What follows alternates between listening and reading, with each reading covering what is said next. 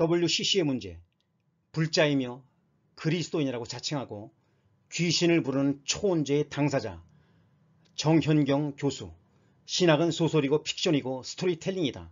성서는 사실이 아니라 사랑의 고백이다. 저의 스승인 필리스 트리블은 이렇게 말씀하셨습니다. 성서는 하나님으로 향한 우리의 연애 편지입니다. 그래서 성서는 사실이 아니라 사랑의 고백입니다. 그래서 성서는 사실이 아니라 사랑의 고백입니다.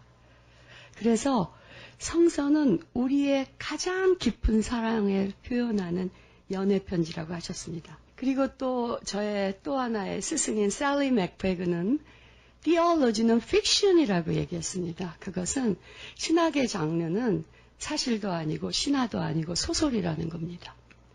좋은 소설과 나쁜 소설이 있듯이 우리는 소설가가 스토리를 쓰듯이 신학을 씁니다. 그리고 또 C.S.송 같은 우리 아시아의 신학자는 이렇게 말했습니다. 신학은 스토리텔링이다. 우리는 모두 스토리를 먹고 사는 존재이고 이 스토리텔링이 바로 우리를 규정하고 성서와 신학은 거대한 스토리텔링이다. 그러나 불교에서는 고통에서 벗어나는 길이 있다.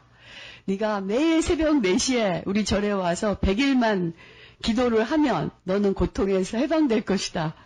제가 그 말에 홀딱 넘어가갖고 비가 오나 눈이 오나 새벽 4시에 가서 새벽 기도를 하게 된 거죠, 절에서. 새벽 명상을 하면서 내 인생의 모든 눈물을 쏟을 만큼 많은 눈물을 흘렸습니다.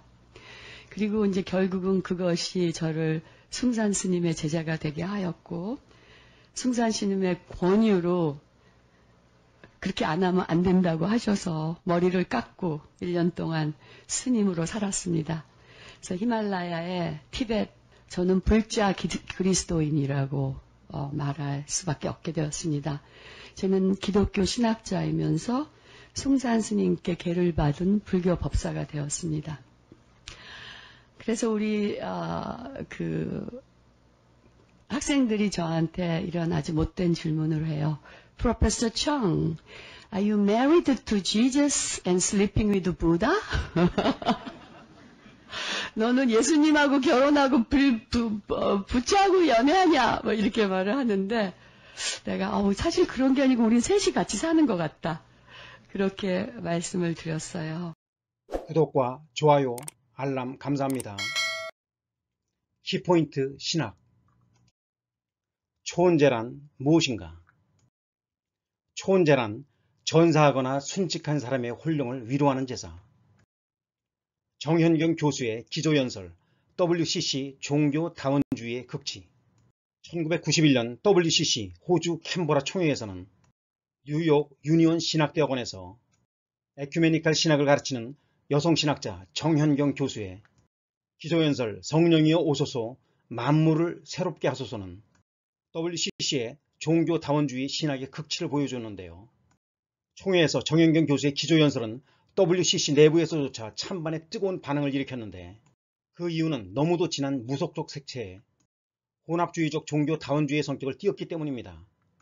이미 무대에서는 호주 원주민 중 한 사람이 토속적인 무속춤을 추고 있었고 한복 소복 차림의 정현경은 기온이로 자신의 기조연설을 시작했으며 그녀는 애굽의 여종 하갈로부터 한국 광주와 중국 천안문에서 죽은 영들, 십자군 전쟁에서 죽은 영들, 체르노빌에서 죽은 영들, 내일 살해되는 아마존 숲의 영들, 걸프전에서 죽은 군인들과 민간인들의 영들, 착취를 당하는 땅과 공중과 물의 영으로부터 십자가에서 고문당하고 살해당한 우리의 형제 예수의 영, 예수 탄생 시 헤로당의 군인들에 의해서 살해된 아기들의 영들에게 오소소라고 불러내는 기원으로 연설을 시작했습니다.